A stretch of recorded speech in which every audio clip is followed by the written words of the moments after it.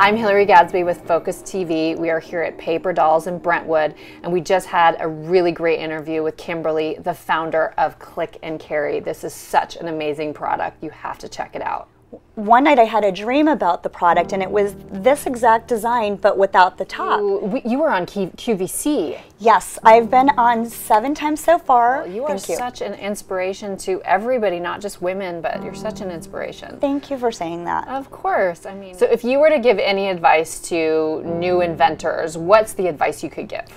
That you just need to follow through. Have your dream, work on your dream, don't be afraid of following your dream, and most of all, ignore the criticism. People are going to be naysayers and tell you that you can't do it or that's a silly idea.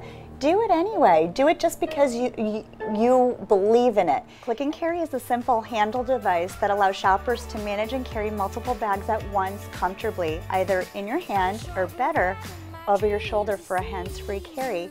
And this is how it works. You simply twist it open, you load your handle bags on each side, any bag with a handle, plastic, paper, canvas, even your purse will work. Click it back into place and you either carry your groceries or purchases or wear them and your hands free. It's perfect for moms, for urban dwellers, for seniors with dexterity issues.